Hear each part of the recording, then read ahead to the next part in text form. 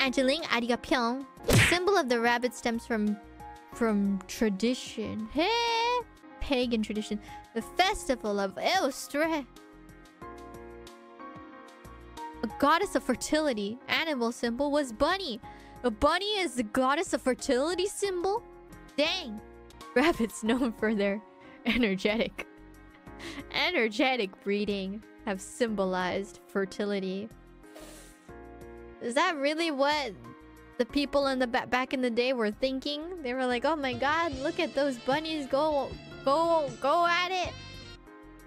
Let's make them the symbol of fertility." really?